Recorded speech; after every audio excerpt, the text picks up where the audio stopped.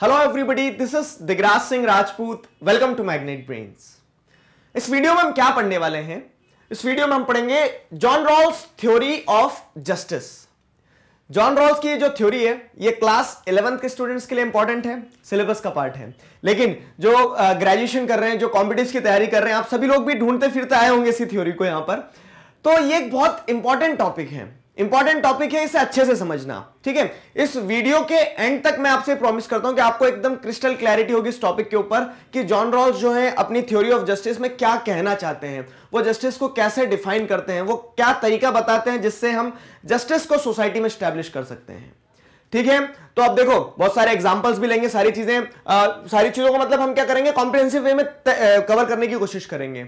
अब एक चीज़ आपको यह ध्यान रखना है कि जब सोशल जस्टिस आपने पढ़ना स्टार्ट किया चैप्टर तो इस चैप्टर में आपने अलग अलग तरीके देखे कि कैसे जस्टिस को स्टैब्लिश किया जा सकता है। थ्योरी पढ़ी आपने जस्टिस से जुड़ी हुई कि न्याय आखिर होता क्या है।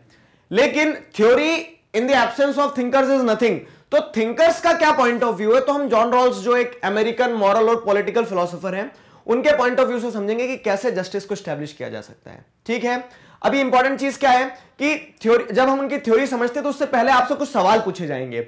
जैसे एक सवाल मैं आपसे पूछता हूँ। ठीक है? What is a good society according to you एक अच्छी सोसाइटी आपके अकॉर्डिंग क्या होगी? ठीक है? आपसे पूछा जाए कि आप किस तरह की सोसाइटी में रहना पसंद करोगे? सोसाइटी मतलब कैंपस वाली नहीं मतलब समाज आप कैसा चाहोगे? ठीक है? तो आप क्या कहेंगे? जहाँ पे हमारी पोजीशन प्रिविलेज पॉइंट पे होना चाहिए, ठीक है? तो society in which your interest are at privilege position नहीं आया समझ में? एक और एग्जांपल लेते देखो। मैंने आपसे पूछा कि आप किस तरह का मैच देखना पसंद करेंगे? तो आप क्या बोलोगे, वो मैच देखना पसंद करेंगे जिसमें हमारी टीम जीतती हो। ठीक है? आपकी टीम हार रही तो वो मैच देखने में क्या मज़ा आएगा? तो आप वही मैच देखना पसंद करोगे जिसमें आपकी टीम जीत रही हो। वैसे ही आप as a human being human being क्या होता है? सेल्फिश नेचर होता है ना थोड़ा सा। तो ह्यूमन बींग्स क्या चाहेंगे कि वो किस तरह के समाज में रहे, जहाँ उन्हें फ़ायदा होता हो? ठीक है, सब अपना फ़ायदा देखते ना? तो ह्यूमन बींग्स क्या करेंगे? ह्यूमन बींग्स भी उसी तरह के समाज में रहना पसंद करेंगे, जहाँ पे उन्हें फ़ायदा होगा, ठीक है? तो in what is a good society according to you अगर आप बात की जाए, आपसे पूछा जाए कि सही क्या होगा तो जो आपके फेवर में हो, वो सही होगा, ठीक है? कड़वा है, मगर सच है, क्या कर सकते हैं? ठीक है तो in which your interest are at privilege position अब क्या है, इस परस्पेक्टिव की एक लिमिटेशन है, ठीक? अगर आप इस तरह से सोचते हैं, और यूजुअली ह्यूमन बींग ऐसे ही सोचते हैं। यूजुअली ह्यूमन बींग ऐसे ही सोचते हैं। अगर मैं आपसे बोलूँ, आप अगर इसको जस्टिस से रिलेट करो कि न्याय क्या होगा तो न्याय वो होगा जो आपके अगेंस्ट ना हो। आगे समझे जस्टिस क्या होगा? जस्टिस वो होगा जो आपके फेवर में होगा, आपके अगेंस्ट ना हो। मानते हो इस चीज़ को? तो इस पर्सपेक्टिव की लिमिटेशन क्या हो गई पता है? इस परस्पेक्ट की इस परस्पेक्टिव की लिमिटेशन ये हो गई है कि ये अपने आप में जस्ट नहीं है ठीक है? ये अपने आप में फेयर नहीं है। क्यों? क्योंकि आप, आप क्योंकि हर आदमी अपना इंटरेस्ट पहले सिक्योर करता है ना? तो वहाँ पे क्या हो रहा है कि यहाँ पे आदमी किस तरह से सोच रहा है? यहाँ पे आदमी इस तरह से सोच रहा है कि मेरा फ़ायदा होना चाहिए या फिर एक अच्छी सोसाइटी होगी जहाँ पे मैं प्रिविलेज पोजीशन में रहूँ। मतलब जस्टिस जहाँ पे कैसे दिया जाए मुझे ध्यान में रखते हुए दिया जाए। ठीक है? तो ये अपने आप में ही क्या हो गया? अनजस्ट और अनफेयर हो गया ये पर्सपेक्टिव और दुख की बात क्या कि सोसाइटी इसी तरीके से चलती है। जब जस्टिस की बात की जाती है जैसे हम आ, क्या बात करते हैं? हमें बात करते हैं कि जो गलत करेगा उसे पनिशमेंट मिलना चाहिए। जो गलत करेगा उसे पनिशमेंट मिलना चाहिए। लेकिन सवाल समस्या कहाँ आ जाती है? अगर आपने गलत कर दिया तो आप आपका ये जो आ, मतलब आइडिया था ना कि जो गलत करेगा उसे पनिशमेंट मिलना चाहिए वो आइडिया डगमगाने लगता है ठीक है? मतलब हम क्या करते हैं कि रूल्स बनाएँगे लेकिन रूल्स जब खुद पे लागू करने की बात आएगी तो हम थोड़े से क्या करने लगते हैं डाइसी होने लगते हैं घबराने लगते हैं। तो वो जो पर्सपेक्टिव है उसकी लिमिटेशन ये है कि वो अनजस्ट है अनफेयर है ठीक है? आप उसे फेयर नहीं बोल सकते उसे जस्ट नहीं बोल सकते हो। तो अब इस पर्सपेक्टिव को ध्यान में रखते हुए, ठीक है, ये लिमिटेशन को ध्यान में रखते हुए जॉन रॉल्स जो है तो John Rawls try to provide a theory of justice ठीक है, उन्होंने एक थ्योरी दी है जस्टिस की, कि अगर आप इस चीज़ को ध्यान में रखते हुए जस्टिस लाओगे तो हमेशा जो इंसान के पास पावर होगी, वो जस्टिस ऐसे देगा कि वो हमेशा प्रिविलेज पोजीशन में रहे, ठीक है? और ये अपने आप में क्या है जस्टिस का जो ऑब्जेक्टिव है, न्याय को ही क्या कर जाता है, ये न्यायपूर्ण तरीका ही नहीं है कि न्याय को आप सही तरीके से दे सको, ठीक है? जस्टिस को डिफाइन करने का जस्ट तरीका ही नहीं है ये, ठीक? तो वो लिमिटेशन रही। तो उसी के लिए जॉन रॉल्स जो है अपनी थ्योरी देते हैं, अपनी बुक में, ठीक है थ्योरी ऑफ़ जस्टिस जो देते हैं जॉन रॉल्स तो उसमें वो क्या बात करते हैं कि कैसे एक सिस्टम बनाया जाए कि जिसमें फेयर और जस्ट तरीके से जस्टिस को लाया जा सके। जस्टिस हो, लेकिन जस्टिस भी जस्ट हो फेयर हो। अनफेयर ना हो अनजस्ट ना हो। आ गया समझ में। देखो, ये कड़ी पहली है। जैसे बोलते ना, चढ़ा मतलब आपको छत पे जाना है तो क्या होगा कि जो सीढ़ियाँ होगी तो उसका पहला पहली जो सीढ़ी होगी, वो चढ़ोगे, तब दूसरी पे चढ़ पाओगे। इस चीज़ को अच्छे से समझ में आया ना कि थ्योरी ऑफ़ जस्टिस की ज़रूरत जॉन रॉल्स मतलब जॉन रॉल्स ने जो थ्योरी ऑफ़ जस्टिस दी, वो क्यों दिए क्योंकि वो समझ रहे थे कि ये जो तरीका है जिससे हम जस्टिस देते हैं, कि जस्टिस देने वाला इंसान जस्टिस दे दे, लेकिन वो हमेशा जो जस्टिस देगा, वो अपने आप को प्रिविलेज पोजिशन में रखेगा। तो जस्टिस देने का तरीका ही अनजस्ट है। आगे ना समझ में? इसके लिए जॉन रॉल्स अपनी थ्योरी देते हैं। मज़ेदार थ्योरी है। तो अब आगे की कहानी समझना। एक सीढ़ी चढ़ गए हो ना दूसरी सीढ़ी पे चढ़ो ठीक है? दूसरी सीढ़ी कैसे चढ़ते हैं देखो। तो individuals will take decision about how society should be organise theory of justice में थ्योरी ऑफ़ जस्टिस में जॉन रॉल्स सीधी सी बात क्या बोलते हैं कि डिसीज़न जो लेगा रूल्स जो बनाएगा रेगुलेशन जो बनाएगा, वो बनाने वाला इंसान कौन होगा? खुद इंडिविजुअल्स अभी बहुत सारे लोगों के मन में सवाल आया होगा। कि सर, जब इंडिविजुअल्स ही डिसीज़न लेंगे, ठीक है? तो यहाँ पे क्या बताया मैंने कि individuals will take decision about how society should be organise मतलब आप एक सोसाइटी में जस्टिस की अगर बात करोगे तो जस्टिस कैसे आएगा जस्टिस कौन देगा? इस चीज़ का डिसीज़न इंडिविजुअल्स ही लेंगे। उस सोसाइटी के लोग ही डिसीज़न लेंगे। सवाल यही है ना आपके मन में कि सर इंडिविजुअल्स अगर निर्णय लेंगे तो इंडिविजुअल्स तो फिर वही वाली बात हो जाएगी कि वो अपना, अपनी पोजीशन को, अपने इंटरेस्ट को प्रिविलेज पॉइंट पे देखना चाहेंगे, ठीक है? तो ऑब्जेक्टिव तो खत्म ही हो गया, वो तो फिर लिमिटेशन आ गई। लेकिन जॉन रॉल्स उसको एक्सप्लेन करते हैं कि हम क्या तरीका रखें जिससे इंडिविजुअल्स जो हैं इस लिमिटेशन से ऊपर आए, ठीक है? तो क्या होता है जॉन रॉल्स बोलते हैं डिसीज़न इंडिविजुअल्स ही लेंगे। But before that they should be in original position ठीक है? क्या बोलते हैं? देखो, ये वाली लाइन जो है डिफ्रेंशिएट कर देती है सारी चीज़ों को। जॉन रॉल से बोलते हैं कि इंडिविजुअल्स को ही तय करने दो कि सोसाइटी में जस्टिस कैसे आएगा। न्याय चाहिए, न्याय न्याय चिल्ला रहे हो ना, न्याय मिलेगा। लेकिन आप ही तय करो और, ठीक है? ये भी बहुत अच्छी बात है कि आप ही तय करो न्याय कैसे मिलेगा। लेकिन आपके तय करने से पहले क्या होगा? आपके तय करने से पहले आपको ओरिजिनल पोजीशन पे आना होगा। ओरिजिनल पोजीशन पे आना होगा मतलब क्या होता है? ओरिजिनल पोजीशन में समझाता हूँ आपको। अ सिचुएशन इन विच ठीक है? ओरिजिनल पोजीशन क्या है? देखो ओरिजिनल पोजीशन ये है कि situation in which no one in which one do not know the position which he she is going to occupy rich poor privilege और disadvantage disadvantages in the society ठीक है? और इसे ही विले ऑफ़ इग्नोरेंस कहा जाता है। ठीक है? इसे ही विले ऑफ़ इग्नोरेंस कहा जाता है। अब जरा कहानी को समझना अच्छे से। हाँ इंपॉर्टेंट चीज़ है यहाँ पे। ये पूरा मतलब थ्योरी को समझने के लिए ये पॉइंट समझना बहुत ज़्यादा ज़रूरी लोगों को ओरिजिनल पॉइंट समझ नहीं आता है। जॉन रॉल्स क्या बोलते हैं? कि आपको तय करना है कि समाज कैसा हो। ठीक है? आपको तय करना है समाज कैसा हो, लेकिन आपको यह नहीं पता कि आप उस समाज के किस हिस्से का पार्ट बनने वाले हो। आया समझ में? देखो, एक एग्ज़ाम्पल लेते हैं हम सबसे अच्छी चीज़। है एक केक है, ये एग्ज़ाम्पल बहुत प्रोमिनेंट है और अधिकतर यूज़ किया जाता है थ्योरी समझाते समय कि एक केक है, ठीक है? अब वो केक में आठ लोग हैं हम, आठों लोगों को क्या है केक का हिस्सा मिलेगा, ठीक है? बधाई हो। अब वो केक जब आठों लोगों को मिलेगा ना तो अब क्या है, आपको तय करना है कि आ, मतलब केक आपको ही काटना है। जैसे मैं बताया ना individuals will take decision how the society should be organise तो सोसाइटी क्या है? केक है। उस सोसाइटी में रूल्स कैसे होंगे उसको ऑर्गेनाइज कैसे करना है किसको कितना केक मिलेगा वो केक को जो काटोगे ना वो केक काटने का काम आपका ही है। ठीक है? आपको ही तय करना है। तो मुझे चाकू दे दिया। ठीक है? गाना गाओ हैप्पी बर्थडे मैंने केक काट दिया। मैंने केक काट दिया। अब लेकिन आपको यह नहीं पता है कि आपको कौन सा पीस मिलेगा। मज़े की बात यह है। आगे समझ में? केक है केक काटना भी आपको लेकिन आपको यह नहीं पता रहेगा कि आपको कौन सा पीस मिलेगा। अब अगर मान लो आपने क्या किया आपने चालाकी ये करी कि सात पीस तो छोटे छोटे काट दिए और एक पीस बहुत बड़ा काट लिया ठीक है? और अब आ, आप एक पीस बड़ा काट के क्या सोच के काट रहे हो कि बड़ा पीस आपको मिल जाएगा ठीक है? लेकिन मज़े की बात क्या है कि ये तय नहीं किया था कि वो आपको कौन सा पीस मिलेगा? तो बड़ा पीस किसी और के हिस्से में चले जाएगा, ठीक है? तो इसमें आदमी क्या करेगा? इसमें सबसे जस्ट तरीका क्या रहेगा कि इंसान जब डिसीज़न लेगा केक काटने का तो वो आटो के आटो हिस्सों को क्या करेगा? एकदम बराबर काटेगा। क्यों? क्योंकि उसे पता नहीं है कि उसे कौन सा पीस मिलने वाला है, ठीक है? तो यहाँ पे उसी चीज़ को ओरिजिनल पोजीशन की बात की जा रही है। क्या? कि इंडिविजुअल्स को तय करना है सोसाइटी कैसे ऑर्गेनाइज होगी। लेकिन वो तय करने से पहले इंडिविजुअल्स को ओरिजिनल पोजिशन में आना होगी अपनी, ठीक है? अब ओरिजिनल पोजिशन क्या होती है? तो एक ऐसी सिचुएशन जहाँ पे इंडिविजुअल्स को नहीं पता होगा, ठीक है? One do not know the position which he she is going to occupy मतलब आपको रूल्स बनाना है, आपको यह तय करना है कि सोसाइटी में जस्टिस ऐसे मिलेगा, लेकिन आपको यह नहीं पता कि आप सोसाइटी के किस हिस्से में जाओगे। राजा मंत्री चोर सिपाही खेलते थे ना? चिट आप ही बनाते हो, फोल्ड आप ही करते हो, आप ही डालते हो, ठीक है? लेकिन अब आप क्या आप उसमें बेमानी नहीं करो क्योंकि आपको पता है, आपको भी नहीं पता है कि आपको कौन सी चिट आने वाली तो आप ईमानदारी से काम करते हो, ठीक है? उसी तरह से जॉन रॉल्स भी बोलते हैं कि इंडिविजुअल्स तय करें, लेकिन इंडिविजुअल्स को यह नहीं पता होना चाहिए कि वो सोसाइटी के किस सेक्शन में वो जाएँगे। ठीक है? मतलब जो लॉस बनेंगे तो लॉस सबके लिए एक जैसे तभी बन पाएँगे जब इंडिविजुअल को अपना इंटरेस्ट ना पता हो। ठीक है? इंडिविजुअल को अपना इंटरेस्ट ना पता हो, और इसे ही विले ऑफ़ इग्नोरेंस कहा जाता है। इसका एडवांटेज क्या है? इसका एडवांटेज बहुत इंपॉर्टेंट समझना, ठीक है? टॉपिक को यहीं से कनेक्ट करना कि इंडिविजुअल्स जब विले ऑफ़ इग्नोरेंस में रहते हैं मतलब वो इग्नोरेंस के पर्दे में रहते हैं एक तरह से, उन्हें नहीं पता रहता है कि उन्हें क्या मिलने वाला है। ठीक है? जब वो विले ऑफ़ इग्नोरेंस में रहते हैं तो उसके चलते क्या होता है? उसके चलते वो जो डिसीज़न लेंगे taking the decision from the point of view of worst of तो आप क्या सोच के चलते हो भैया जो सबसे बुरा हो सकता है, वो पॉसिबिलिटी लेके चलो। मतलब आप केक काटोगे तो एक भी केक के पीस को आप बड़ा छोटा नहीं करोगे, क्योंकि आपको पता है कि अगर सबसे छोटा वाला मुझे मिल गया तो सबसे घाटे में चले जाऊँगा मैं तो सब बराबर काट दो, जो भी मिले सब अच्छा रहेगा।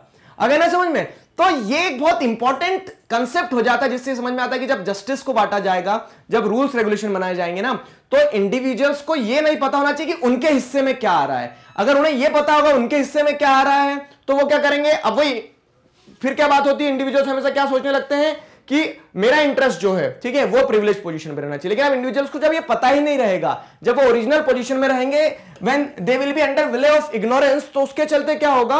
वो हमेशा डिसीज़न वर्स्ट ऑफ़ को ध्यान में रखते हुए लेंगे, ठीक है? हमेशा डिसीज़न को डिसीज़न वर्स्ट ऑफ़ को ध्यान में रखते हुए लेंगे मतलब उन्हें पता है कि उन्हें सबसे छोटा केक का पीस भी मिल सकता है अगर वो ज़्यादा छोटे केक के पीस काटेंगे। तो वो ये सोच के चलते कि सब बराबर ही काटो। आगे ना समझ में? केक वाला एग्ज़ाम्पल एग्जैक्ट एग्ज़ाम्पल उसे ध्यान रखना, ठीक है? तो अब इसका एडवांटेज क्या है जो मैंने यहाँ पे बताया कि इस ओरिजिनल पोजीशन में आने का एडवांटेज क्या है? इन कंप्लीट इग्नोरेंस ठीक है? When the individual will be under veil of ignorance तो in complete ignorance individual will not know who and what they will be individuals को नहीं पता है कि वो सोसाइटी के किस सेक्शन में जाने वाले हैं, ठीक है? तो therefore they will support a decision about the rules and organisation of that future society which would be fair for all the members आया ना समझ में? जब इंडिविजुअल्स को नहीं पता है कि वो क्या होने वाले हैं, वो उन्हें क्या मिलने वाला है तो वो डिसीज़न उस तरह से लेंगे। They will support a decision about rules and organisation of that future society which would be fair for all the members तो वो डिसीज़न इसी तरह से लेंगे सोसाइटी में जहाँ पे सारे इंडिविजुअल्स के लिए सारी चीज़ें फेयर रहे। क्यों? क्योंकि उन्हें पता है अगर वो आ, कहीं पे अनफेयर काम कर देंगे तो हो सकता है वो अनफेयर ब्रैकेट में भी चले जाए। वो खुद अनफेयर वाले ब्रैकेट में चले जाए। ठीक है? वाई का मतलब समझ आया ना यहाँ पे? वाई क्या है? तो अब देखो केक को एक साइड रखते हो अगर थ्योरी से अगर समझे। मान लो हमें निर्णय लेना है कि जस्टिस क्या होना चाहिए। रूल्स रेगुलेशन हमें बनाना है इंडिविजुअल्स को। और हमें पता है कि यार हम तो अमीर हैं तो हम रूल्स एंड रेगुलेशन कैसे बना देंगे? हम रूल्स एंड रेगुलेशन ऐसे बना देंगे कि गरीबों को राइट्स ना मिले, लेकिन अमीरों को पूरे पूरे राइट्स मिलना चाहिए। तो इग्नोरेंस यहाँ पर बहुत इंपॉर्टेंट हो जाती है, ठीक?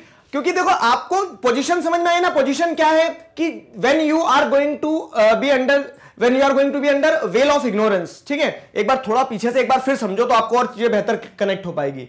डिसीज़न इंडिविजुअल्स को ही लेना है, सोसाइटी कैसे ऑर्गेनाइज करना है। लेकिन individuals are under veil of ignorance. Veil मतलब जैसे बुरखा होता है ना, जो पर्दा तो पर्दे के अंदर हो आप, पर्दा किस चीज़ का? इग्नोरेंस का डला हुआ आपके ऊपर। आपको नहीं पता है, कुछ भी नहीं जानकारी आपको कि समाज कैसा बनने वाला है कल को, ठीक है? और पॉसिबिलिटी क्या आप ओरिजिनल पोजीशन में हो। ओरिजिनल पोजीशन में हो कि आपको यह भी नहीं पता है कि आप वो जो सोसाइटी बनेगी, उसके किस सेक्शन में जाने वाले हो। एक और अच्छा एग्ज़ाम्पल ध्यान आया वो समझाता हूँ, देखो। कि एक होटल है, ठीक है, तू खंडर सा है मतलब खंडर हो गया पूरा, उसको रिनोवेट करना है रिनोवेट करने की ज़िम्मेदारी आपको दे दी है, ठीक। अब आप जब रिनोवेट करने जाओगे ना तो आपसे यह बोल दिया गया है कि आपको भी एक रूम मिलेगा इसमें। अब आप क्या करोगे? लेकिन यह नहीं बताया गया कि आपको कौन सा रूम मिलेगा। तब आप क्या करोगे पता है? आप सारे रूम को एक जैसा बनाओगे। जो रूम खराब होगा ना सबसे ज़्यादा, उसे भी आप बराबरी पे लाके छोड़ोगे। मतलब सारे रूम एक जैसे होना चाहिए जिसमें जितना ज़्यादा टूटा फूटा सामान था, उसको भी आप सुधारोगे। खराब से खराब को भी सही करोगे आप। क्यों? क्योंकि आपको पता है आपको यह नहीं पता है कि आपको कौन सा रूम मिलने वाला उसमें से। तो वैसे ही आ, मतलब क्या है जो अब रूम इंटीरियर डिज़ाइन कर रहा सारी चीज़ें कर रहा तो ही और she is under veil of ignorance ठीक है? उसे नहीं पता कि उसे क्या मिलने वाला है।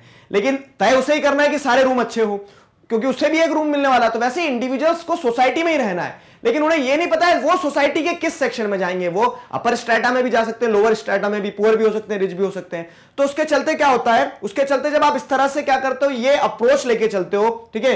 वेल ऑफ़ इग्नोरेंस जब भी आप थ्योरी ऑफ़ जस्टिस लिखोगे जॉन रॉल्स की तो वेल ऑफ़ इग्नोरेंस का कंसेप्ट समझ में आया ना? कि आप ओरिजिनल पोजीशन पे हो, आपको नहीं पता है कि आप किस पोजीशन को ऑक्यूपाई करने वाले हो, ठीक है सोसाइटी में। तो उसके चलते क्या होता है कि आप जब भी सोचोगे, जो भी निर्णय लोगे तो आप अपने आप को वर्स्ट ऑफ़ पोजीशन पे रख के चलोगे। और वो वर्स्ट ऑफ़ पोजीशन पे जब आप रख के चलोगे ना तो आप जब कंप्लीट इग्नोरेंस में रहोगे तो आप ऐसे डिसीज़न को सपोर्ट करोगे जिसमें क्या होने वाला है, जिसमें जो सभी के लिए फेयर रहे, जो एकदम जस्टिफाइड रहे। और उसका एडवांटेज क्या है? उसका एडवांटेज ये है कि इससे वीकर सेक्शन के बारे में भी सोचा जाता है, ठीक है? तो it would make a sense for each person हर इंसान के लिए सेंसेबल तरीके से डिसीज़न लिया जाएगा यहाँ पे। Acting in his or her own interest to try to think of rules of organisation that will ensure reasonable opportunities for the weaker section also ठीक है? मतलब क्या है? समझना इसका एग्ज़ाम्पल भी दूँगा कि जब आप वेल ऑफ़ इग्नोरेंस के अंडर में आके क्या करोगे? वेल ऑफ़ इग्नोरेंस के अंडर में आके डिसीज़न लोगे तो उससे होने क्या वाला है? उससे होने ये वाला है कि आप जो है, आप वीकर सेक्शन के बारे में भी सोचोगे। क्यों? क्योंकि ये भी हो सकता है कि आप खुद वीकर सेक्शन को बिलोंग करो। तो एग्जांपल में जैसे आप एजुकेशन हेल्थ फैसिलिटीज़ ये जो है ना तो आप वो क्या करोगे? एजुकेशन हेल्थ फैसिलिटी ऐसा नहीं कि सिर्फ़ अपर क्लास के लिए अच्छी बनाओगे या फिर रूल्स जो बनाओगे, ऐसे जस्टिस दोगे कि अपर क्लास को सारी चीज़ें मिल जाए। नहीं, आप लोअर क्लास के लिए भी वो सारी चीज़ें करोगे। क्यों? क्योंकि क्या भरोसा आप लोअर क्लास में आ जाओ? ठीक है you are in the original position आपको ये नहीं पता है कि आप सोसाइटी के किस सेक्शन में जाने वाले हो। ठीक है? तो जॉन रॉल्स जो है, अपनी थ्योरी में सीधी सी चीज़ यही बताते हैं। देखो जॉन रॉल्स ने ये नहीं बताया कि ओरिजिनल पोजीशन में कैसे पहुँचाया जाए इंसान को। ठीक? लेकिन जॉन रॉल्स बताते कि अगर इस अप्रोच से चीज़ों को करवाया जाए, जैसे अब आप होटल का वो काम करवाना है वो एग्ज़ाम्पल में अगर आप किसी को ऐसा काम दोगे कि एक कमरा हम आपको ऊपर वाला दे देंगे, आप पूरे होटल के कमरे सही कर दो तो ये तय है कि वो पूरे कमरे में थोड़ी थोड़ी मक्कारी कर देगा, लेकिन उसे जो कमरा दे रहे हो, उसको वो एकदम फाइव स्टार बना देगा। ठीक है? तो उस तरह से, लेकिन अगर उसे बोल दोगे तुम्हें कौन सा कमरा देंगे, ये नहीं बता रहे। आप कमरे बनाओ अच्छे तो फिर वो अच्छे से काम करेगा। ठीक है? तो उसी तरह से सोसाइटी में भी जब आप जस्टिस की बात करते हो तो ये मत तय करो कि जो लोग जस्टिस बना रहे हैं, उनकी क्लास पता हो। अगर आप क्या कर रहे हो जस्टिस के प्रिंसिपल सेट करने का काम आपने क्या दे दिया कि सारे ब्यूरोक्रेट्स को दे दिया। तो वो अपने लिए जस्टिस की डेफिनेशन हमेशा ऐसी बनाएँगे कि वो एक प्रिविलेज प्रिविलेज पोजिशन में रहे। ठीक है? तो क्या होना चाहिए कि जस्टिस जो बना रहे उस इंसान को पता नहीं होना चाहिए कि वो सोसाइटी के किस ब्रैकेट में आता है। ठीक है? ये एक लिमिटेशन है कि वो, आप उसको ओरिजिनल पोजीशन पे कैसे ले जाओगे? लेकिन उनका आइडिया समझो कि अगर इस तरीके से जस्टिस को तय किया जाएगा पॉलिसीज़ को रूल्स रेगुलेशन को तो दिखती बात है कि वो बहुत जस्टिफाइड रहेंगे, सब इस पोजीशन से सोचना चालू करेंगे कि वो किसी भी सेक्शन में जा सकते हैं। आए ना समझ में? ये कहानी है तो। ठीक है? अब देखो क्या है। अब सवाल ये आता है कि is it possible to erase all our identities and to imagine oneself under the veil of ignorance ठीक है? क्या ये ऐसा पॉसिबल हो सकता है? ठीक है, गजनी को देख रहे हो सभी लोग। मतलब क्या ऐसा पॉसिबल हो सकता है कि हम अपनी अपनी खुद की आइडेंटिटी को इरेज कर दें? है ना समझ में? वो पॉसिबल नहीं है। ओरिजिनल पोजीशन पे जाना पॉसिबल नहीं है। ठीक है? लेकिन क्या है, लेकिन उसका एक दूसरा पर्सपेक्टिव है, जैसे सिक्का आप देखते हो, सिक्के के दो पहलू होते हैं ना तो जितना डिफ़िकल्ट ये है कि आप अपनी मेमोरीज को नहीं भुला सकते हो it is equally difficult for most people to be self sacrificing and share their good fortune with strangers ठीक है? अब देखना, दो डायमेंशन है, अच्छे से समझना, है, देखो, मैं पूरा प्रयास कर रहा हूँ कि हम एक फ्लो में चीज़ों को समझाते चले आपको। तो बात क्या की गई? अभी तक आपने क्या देखा? कि इंडिविजुअल जो ओरिजिनल पोजीशन में आ जाना चाहिए ही और she should be under the wheel of ignorance जिसमें वो ये भूल जाए कि उसकी अपनी आइडेंटिटी क्या और फिर जस्टिस की बात करे फिर रूल्स एंड रेगुलेशन बनाए। ठीक है सवाल ये आता है कि पॉसिबल नहीं है लेकिन कोई भी इंसान अपनी आइडेंटिटी को अपनी आ, uh, मतलब अपनी आइडेंटिटी को बिना अपने इंटरेस्ट के कैसे इमेजिन कर सकता है? ठीक है तो अब उसका दूसरा काउंटर आर्ग्यूमेंट भी यही है कि आप जो बोल रहे हो कोई अपनी आइडेंटिटी को नहीं भूल सकता है तो इसीलिए हम वेल ऑफ़ इग्नोरेंस में लाने की बात करते हैं। क्योंकि जब अपनी आइडेंटिटी को नहीं भूल सकता है तो it is equally difficult for most people to be self sacrificing तो वो जब रूल्स बनाएँगे ना तो वो जस्टिस हमेशा अपने ग्रुप के लिए अपने सेक्शन के लिए अपने खुद के इंटरेस्ट के लिए तो ऊपर रखेंगे ही रखेंगे। क्योंकि आप खुद ही बोल रहे हो कि वो पॉसिबल नहीं है कि अपनी अपनी खुद की आइडेंटिटी को इंडिविजुअल्स जो है वो क्या कर दे इरेज कर दे। तो इसके लिए जब वो आ, अपनी आइडेंटिटी को ध्यान में रख के हमेशा रूल्स बनाएँगे ठीक है जस्टिस देने की बात करेंगे अगर तो वो क्या होंगे it is equally difficult for most of the people to be self sacrificing तो इसीलिए वो सेल्फ सेक्रीफाइस करेंगे ही नहीं। तो यही मैं आपको एक्सप्लेन कर रहा हूँ कि तभी वेल ऑफ़ इग्नोरेंस का होना बहुत ज़्यादा ज़रूरी है। अब आप जैसे देखोगे ना तो सोसाइटी देख रहा है, ये कंसेप्ट समझना थ्योरी का बहुत इंपॉर्टेंट है। हम हमेशा सेल्फ सेक्रीफाइस को इतना आ, मतलब क्या कर देते हैं उसको हीरोइज्म से क्यों जोड़ देते हैं कि कोई अपना त्याग कर रहा है किसी चीज़ का? तो हम उसको हीरोइज्म से क्यों जोड़ते पता है? हम उसको अच्छा क्यों बताते हैं? उसको अच्छा इसलिए बताते हैं हम क्योंकि त्याग कोई यूँ ही नहीं करेगा जब तक आप उसके साथ में कोई इंसेंटिव नहीं जोड़ोगे। जैसे क्या होता है कि कोई इंसान ईमानदार है ठीक है? ईमानदार है। समझना बहुत अच्छी चीज़ बता रहा हूँ मैं आपको। अब आपको क्या आता है आपके अकाउंट में कहीं से पैसे आ गए लेकिन आप क्या कर रहे हो आप वो पैसा लौटा दे रहे हो वापस ठीक है? बदले में क्या मिला? ठेंगा। फिर भी आप कर रहे हो। क्यों कर रहे हो? क्योंकि उससे आप ईमानदारी को दर्शा रहे हो, ठीक है? तो ईमानदारी जो है ना, हमने उसको किसके साथ जोड़ दिया? गुड वैल्यू के साथ में जोड़ दिया है। उससे आपको पैसे का लॉस हो गया, आपने पैसा वापस लौटा दिया। लेकिन आपकी सेल्फ रिस्पेक्ट डिग्निटी बढ़ गई है, ठीक है? अब ऐसा क्यों होता है कि सर, ईमानदारी की ही सेल्फ रिस्पेक्ट मिलती है और क्या कह सकते हैं बेमानी की सेल्फ रिस्पेक्ट नहीं मिलती है? जो बेमान होता है, उसे सेल्फ रिस्पेक्ट क्यों नहीं कहा मतलब सोसाइटी उसको क्यों नहीं रिकॉग्नाइज करती? बेमानी करना भी तो एक कला है, हर कोई नहीं कर सकता ना।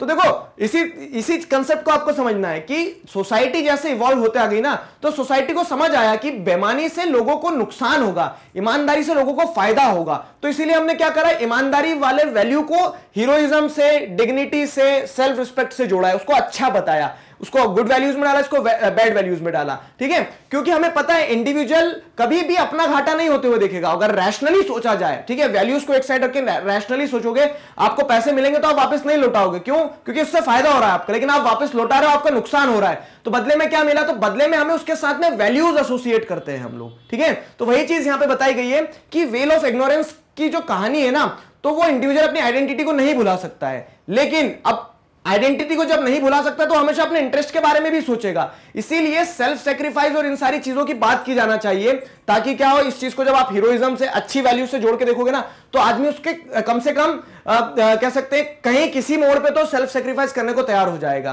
ठीक है?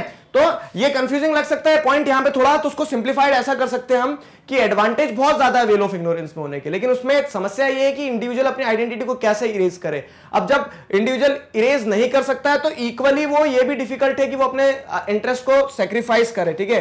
तो उसमें लिमिटेशन है फीलिंग है। Then how does this idea works लेकिन इतनी समस्याएँ होने के बावजूद भी ये आइडिया काम कैसे करता है? तो देखो, क्या कहते हैं जॉन रॉस ठीक है कहानी समझ में आ गई ना?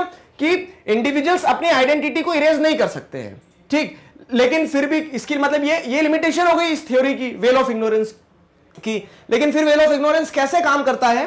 तो veil of ignorance is expected is under veil of ignorance it expect people to be just their usual rational self ठीक है?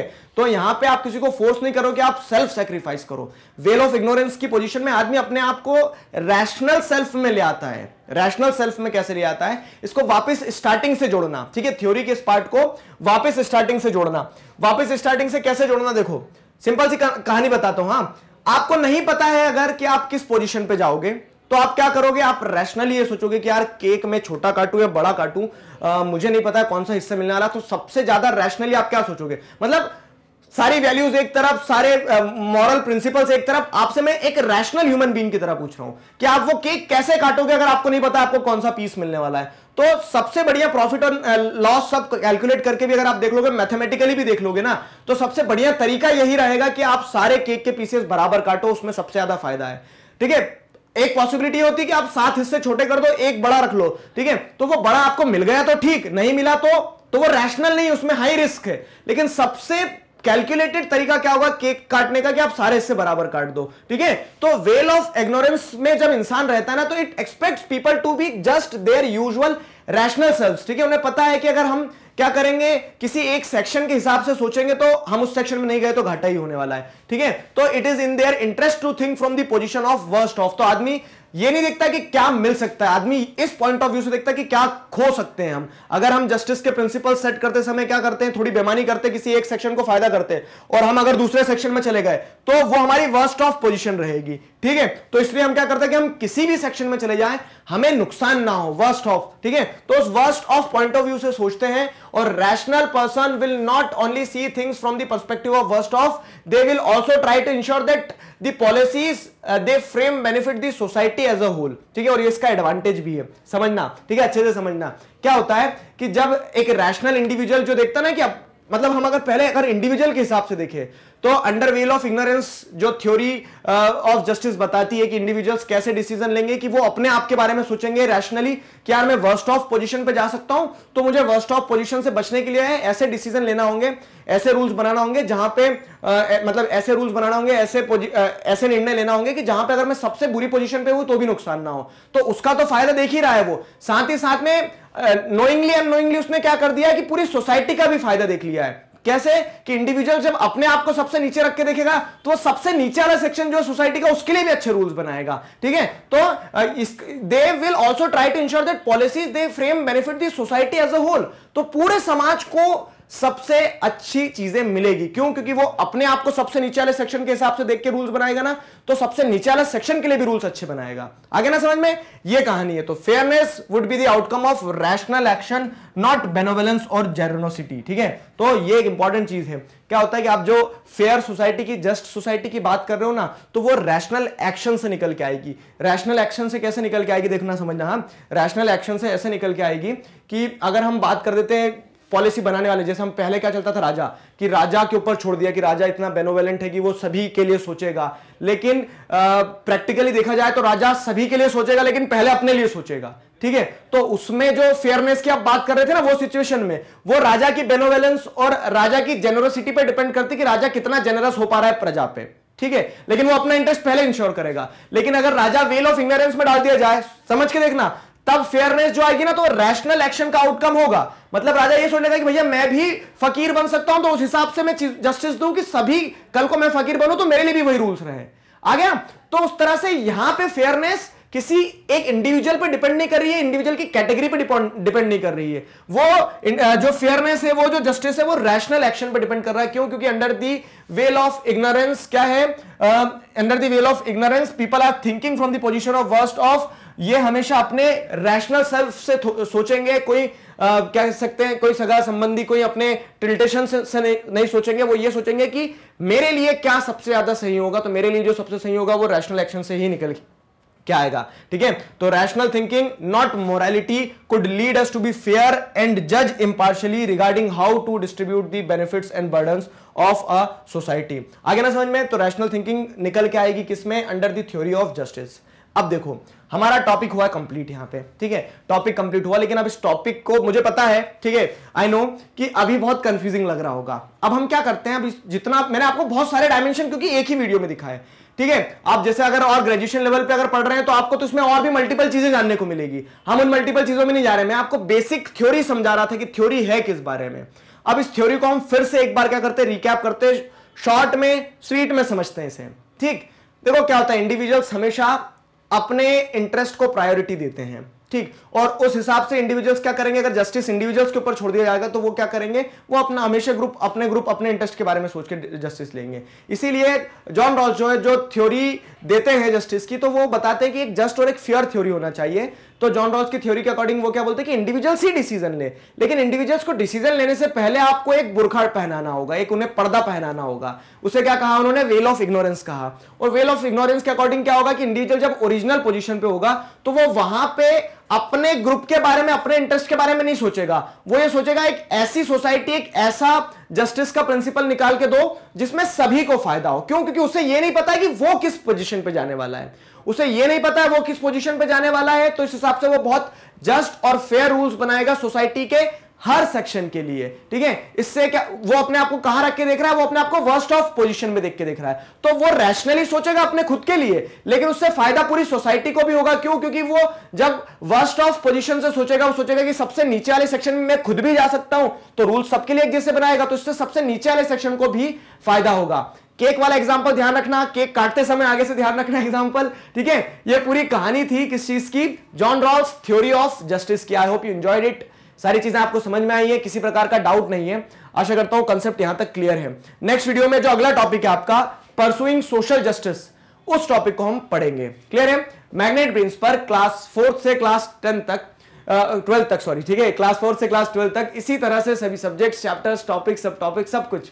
सिस्टमैटिक वे में वीडियो लेक्चर्स के फॉर्मेट में अवेलेबल है, जिन्हें आप बहुत आसानी से पढ़ सकते हैं, समझ सकते हैं, घर बैठे अपना सिलेबस कंप्लीट कर सकते हैं। अपने जूनियर्स और सीनियर्स को ज़रूर बताइए मैग्नेट ब्रेन्स के बारे में।